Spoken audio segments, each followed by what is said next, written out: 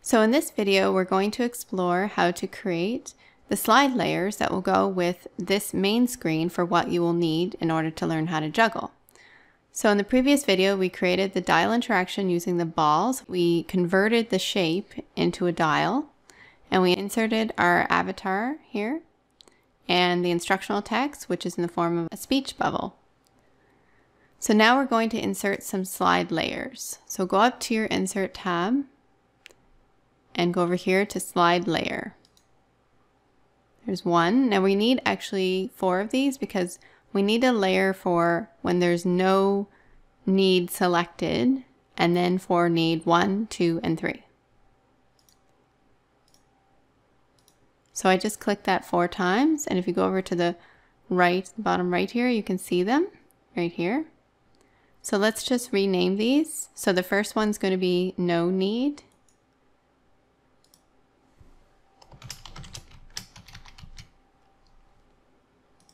The second one will be need one, but you can use some other label, whatever works for you.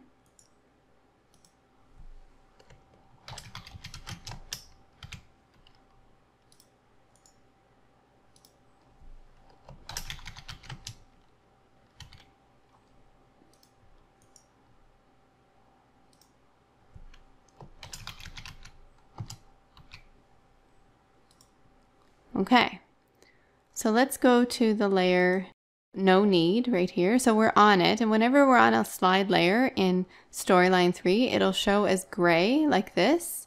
So the main screen is going to be grayed out. So anything you put on top of it will show in color, but this will be the grayed out part is the main, the base layer or the main screen. So we're going to insert text boxes. So let's go back to the storyboard for a second. So we need to then insert a slide layer for each of these with the text. Okay, and the one for the no need when we're not selecting one of these things. All right, so let's first do no need. So what I mean by that is that if we're not on one of these points here, so this would be point one, two, and three, then it should not be showing anything. Okay, so we want this layer to be blank. So we're going to go over here to the right now and create a new trigger. So right here, this button here, create a new trigger. So we're going to show layer, no need, when variable changes. So our variable is our oval one or our, our circle or our ball, whatever you want to call it. So when oval one changes, and what we mean by this is that it can have three main values on this dial, one, two, and three. But if it's just sitting here like it is now in the beginning, I don't want to show anything. So it's when it is equal to zero or to four. So something outside this range that we're going to show this no need screen. So we need to add some conditions here. So this gets a little bit complicated, but it's not too bad for this interaction. So we're going to add one. For our variable, oval 1, the operator is going to be when it's equal to 0, and then we'll add another one, or when it's equal to 4.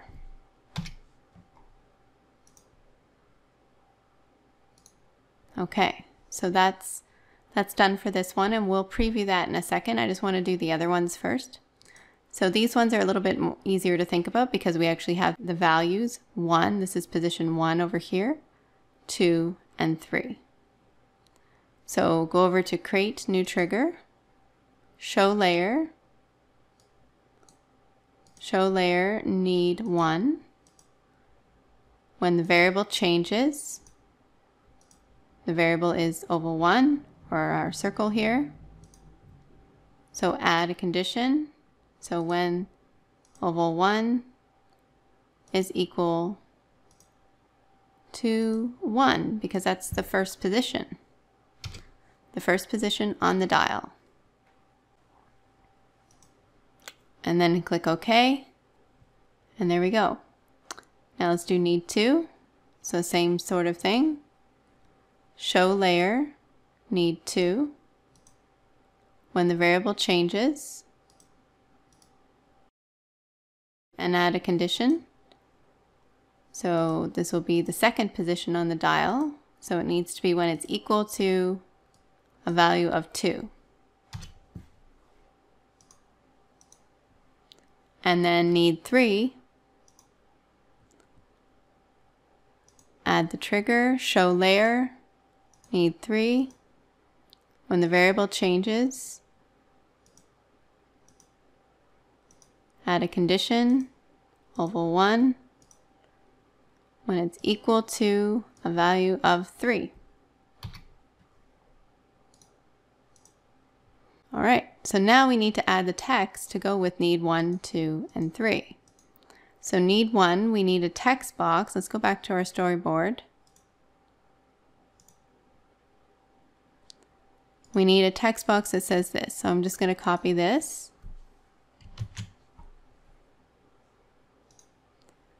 And I'm going to just paste it in. Actually, I'm going to make sure I just paste the, uh, I'm going to make sure I paste just the text right now. There we go. And then I'm just going to make that a different size. And I'm going to move it over here. So we're on need one. We're on slide layer near need one. And I'm just going to move that in a bit.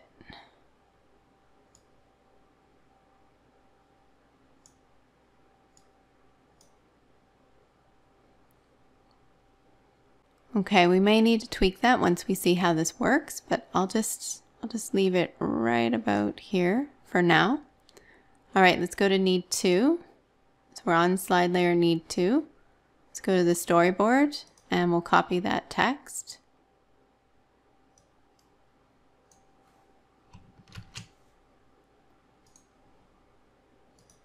And I'm going to paste special, just paste the text.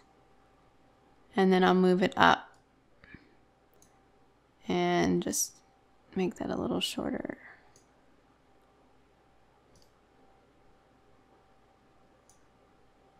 Okay.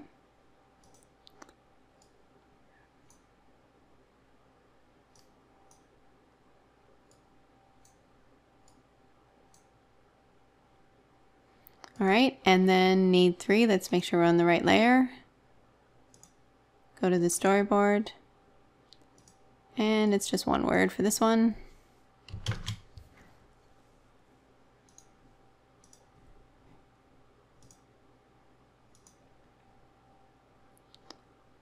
There we go.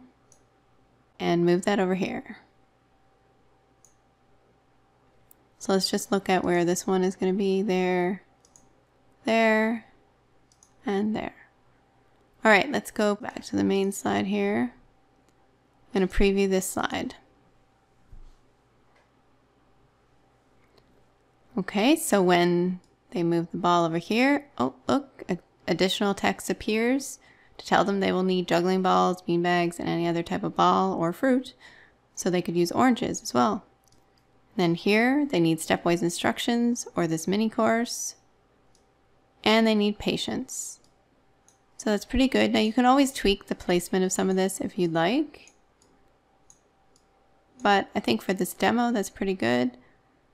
If you want, you could move that maybe over a little bit. This You can make a different size, but I think for what we're doing here, so I'm showing you the basics of how to do this in Storyline and showing the basics of how to use a dial and the trick to use to convert any shape into a dial just by making the shape and then going up to your dial and saying convert to dial. I think that's a really neat feature and um, it allows you to be a little more creative with your dial interactions. So in our next video, we're going to look at the juggling process, which is going to be more of a kind of a tabbed interaction type with clickable buttons.